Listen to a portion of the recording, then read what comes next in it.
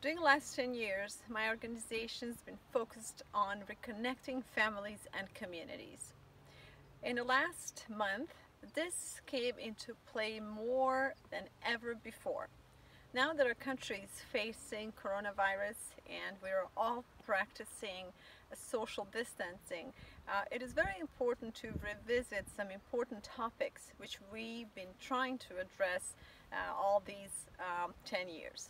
I have always been a firm believer that strength of our country lies in the strength of our families and communities.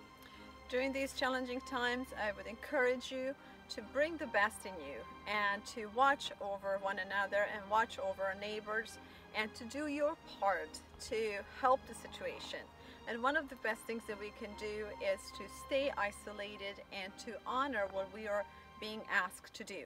But there's something else I want to talk to you about and that is how to utilize this time that we're given now to spend with our families at home and how to make the most of it not just right now but to make most of most of use of this time for the days to come. This is a one time where I think we all can agree that uh, uh, American families should have more of their own homegrown produce around homes.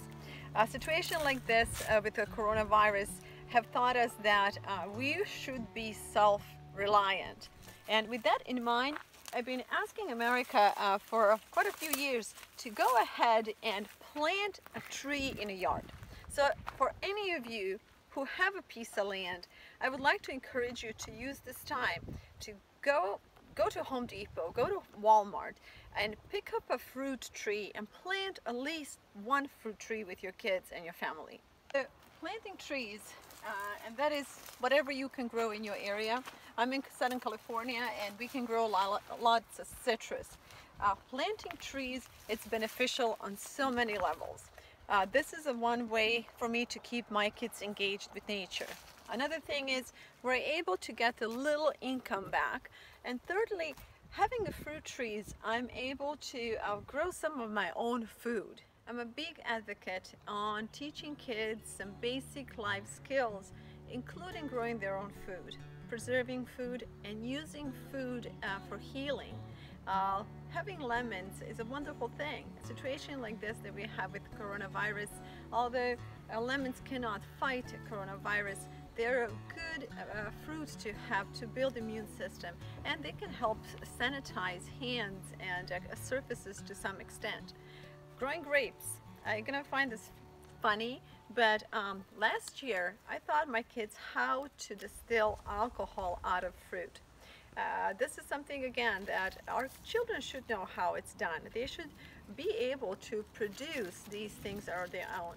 With the technology today, uh, we are raising uh, intelligence, but we are losing a lot of common skills and common sense that a lot of our children will need in the future to survive. Our little property has over 150 different uh, fruit trees and uh, I understand not everybody has the ability to grow a lot of fruits around their property but if you have a piece of land as I said plant at least one. Uh, we have an apricot here, uh, we have another apricot, and then we have a peaches, a few different kinds of peaches. Uh, we have persimmons, grapefruit, oranges, uh, we have olive tree, we have pomegranates, and you name it.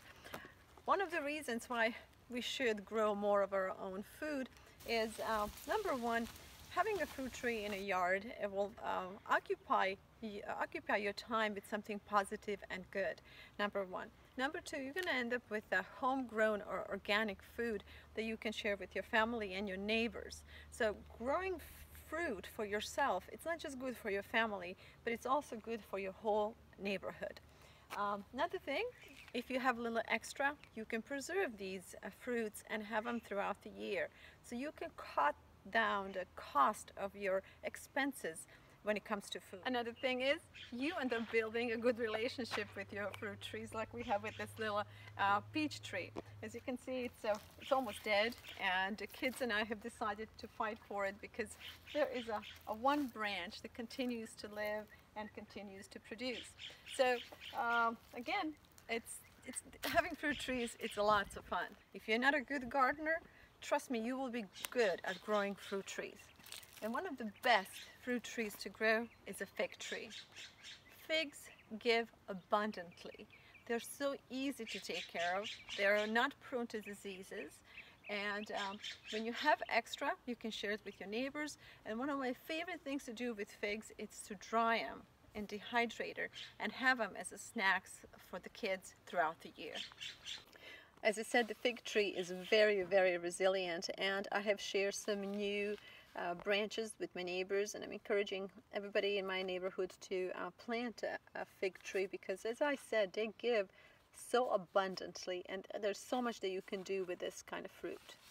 This is one of my favorite in our yard because we only have one apple tree and uh, throughout the year we get to share uh, fresh apples with our neighborhood and then uh, there's always plenty to dry and leave for the rest of the year. Another reason about um, why you should grow fruit trees is this is the promise of the abundance of the for the next season.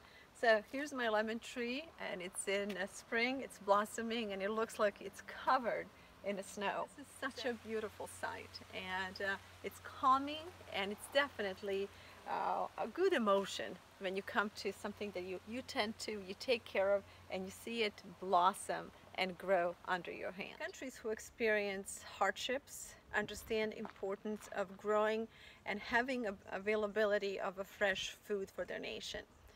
Our country has been blessed and we had not had such a uh, uh, struggles on our territory for a long time but uh, today's enemy is different. We don't need a, a, war in order to find ourselves in a situation where we are struggling to, uh, to get to the uh, fresh fruit and fresh produce and for our resources to being, be cut off.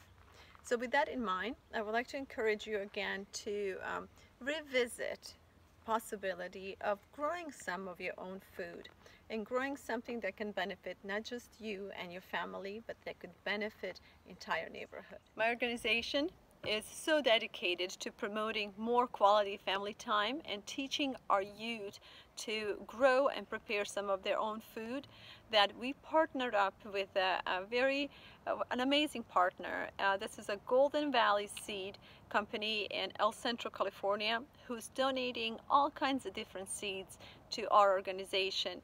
And um, in return we are donating these seeds to our community through library.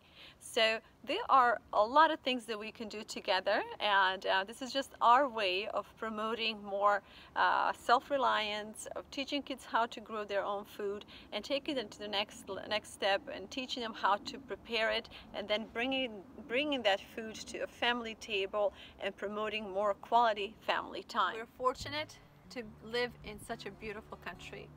We have freedom, we have opportunities, and we have ways in which we, we can reshape the future for our children.